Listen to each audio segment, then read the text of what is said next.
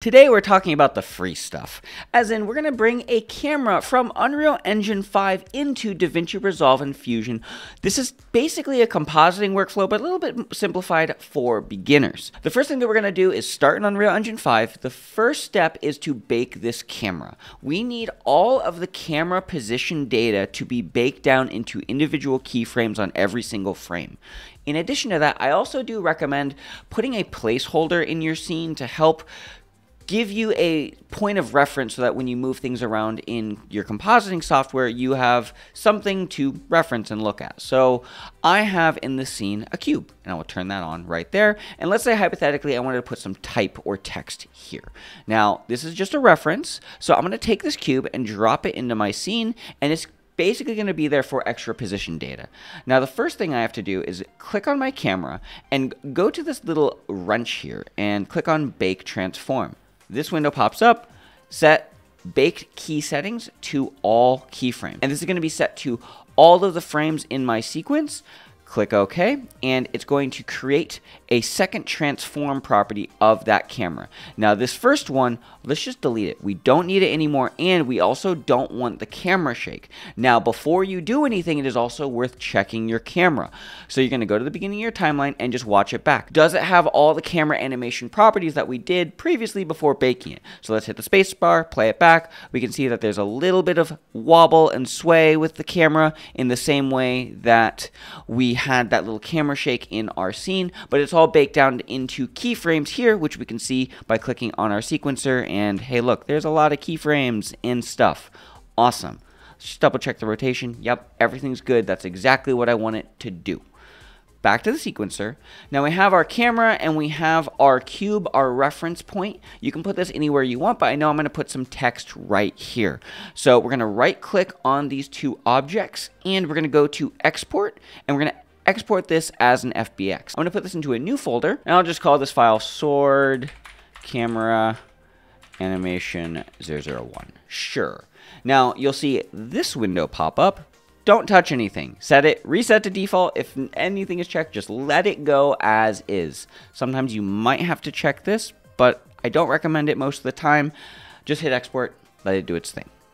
Now we have to go into either DaVinci Resolve or Blender for a second, but we're going to start with the DaVinci Resolve method first. Obviously, if we want to do some compositing with the scene, we have to render this shot. So I'm going to go up to my clapboard in my sequencer, and I'm going to just do a very basic render here. Go into my settings, I'll get rid of the JPEG sequence just because force of habit, I like using PNG sequences for my tests. I'm going to add some anti-aliasing and I'm going to add a game overrides option. Not going to do anything else fancy. Go into my anti-aliasing, set it to 8 for the temporal samples, override anti-aliasing, anti-aliasing set to none, engine warm-up frames to 240, and render warm-up frames. Go into your output, set your render into wherever you want this to be saved. I'm going to make a new folder and I'll call this tutorial camera animation into Da Vinci. Burp. Just like that. Select folder. Okay, cool. Make sure it's at the exact aspect ratio that we want. And this is important if you're going to be doing compositing. Make sure that you are compositing in the output that you plan on rendering in for your final render. So 1920 by 1080 is perfectly fine for this. Click accept, and we are going to hit render.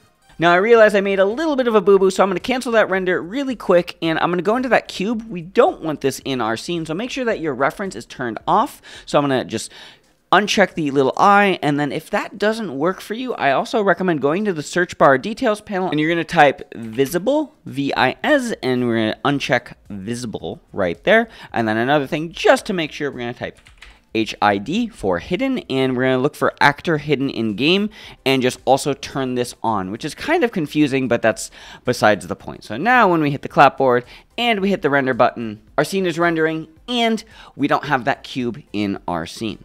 So let's jump over to DaVinci Resolve and start compositing some type into this scene.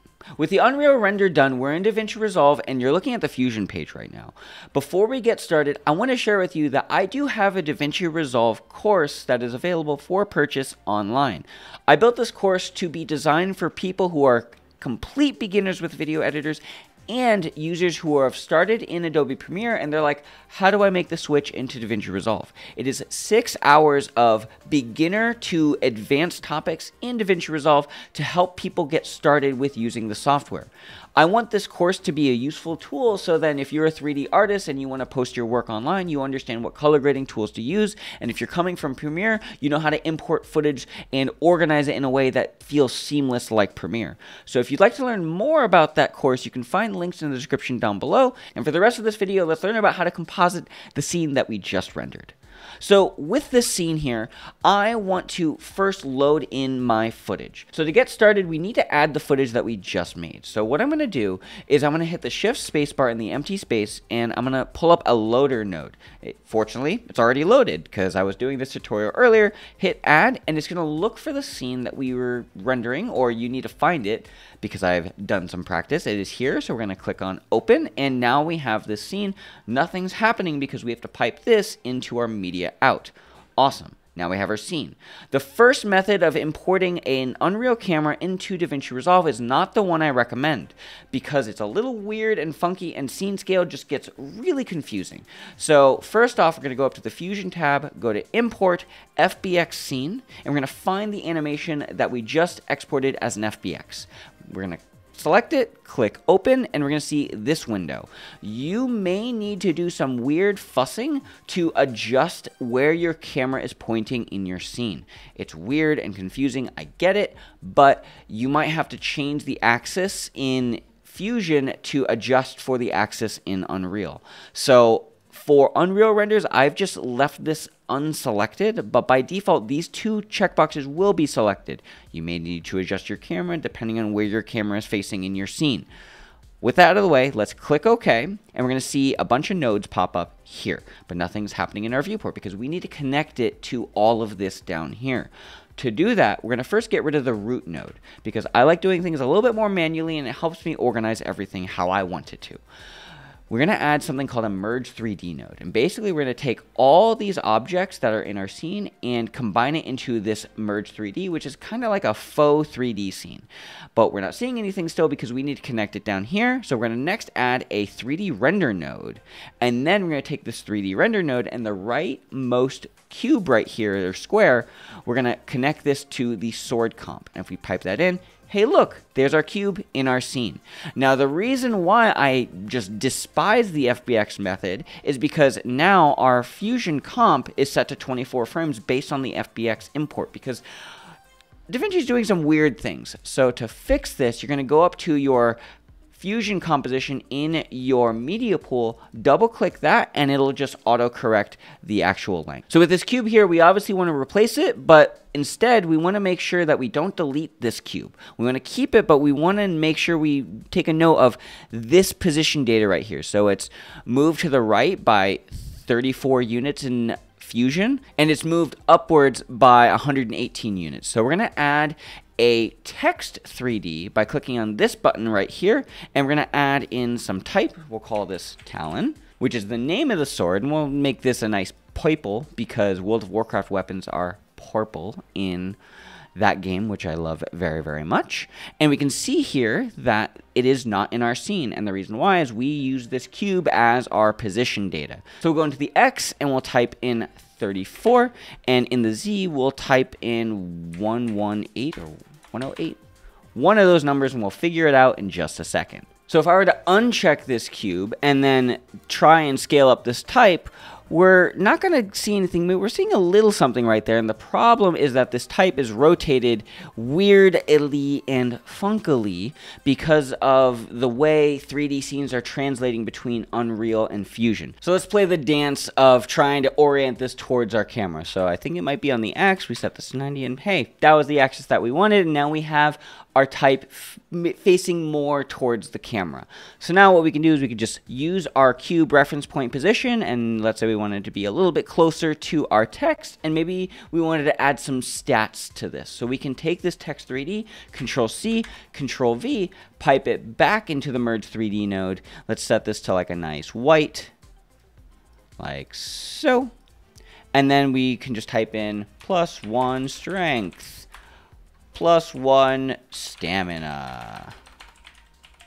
And let's go into our scaling, scale it down, and orient it to the left or horizontally justify it and position this exactly where we want. And now we have the stats for this weapon composited into our scene. Now this is the basic version of importing a camera from Unreal Engine into DaVinci Resolve using an FBX.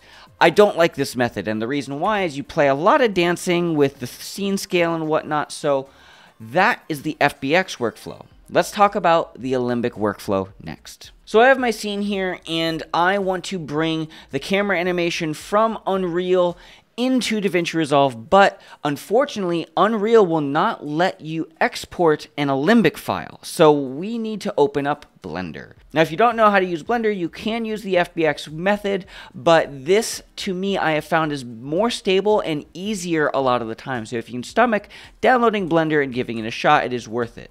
I have my camera animation imported into Blender, and one big issue with this is that while we do have the cube in our scene and the cameras in our outliner, when you export anything from Unreal into Blender, the scene scale is about 1% of its actual size. So I'm going to hit N on my keyboard and go to my camera, and I'm going to hit Alt-Shift I with my mouse over the scale to clear all of those keyframes on the scale and then set the scale to 1, 1, and 1. And now we should see our camera. If we lock our camera to our viewport, we can see that we have our little camera animation and the cube is right there exactly where we needed it to be.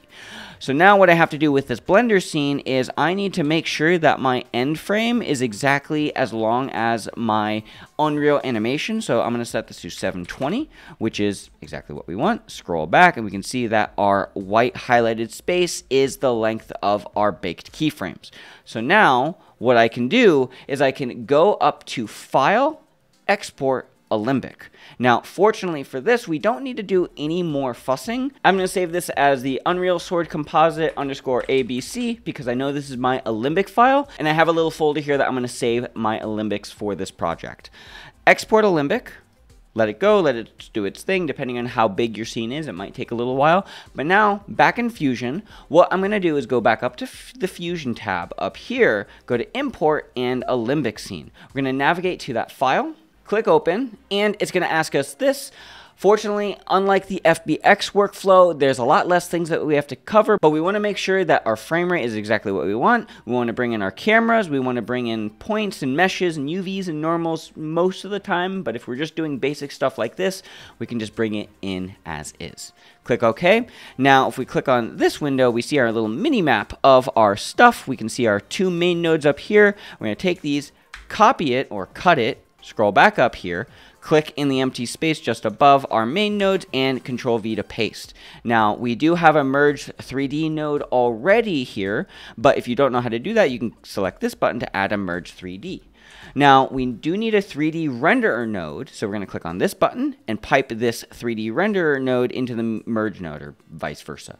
If I hit the 1 key with my two viewports selected, we can see that we have our basic empty space inside our scene, but it's obviously not showing inside our main viewport for our render. So what we're gonna do is we're gonna take this cube, pipe it into the very end, like so, and it's gonna merge, merge, come on dude, mm, oh come on. There we go. There we go. And now we have our cube in our scene. And the reason why I like the Alembic workflow is if you do the FBX workflow, you might have to do the dance of trying to orient your stuff towards the camera. This way, it's so much easier and it does require Blender, unfortunately, but that's also a very useful tool to learn as well. So with that said, let's use our cube to get our reference point for our position. And if we click on the transform, we can see that the values of the Alembic scene are much, much smaller and much more manageable. So I can go ahead and make a text 3D. Let's select our merge 3D node and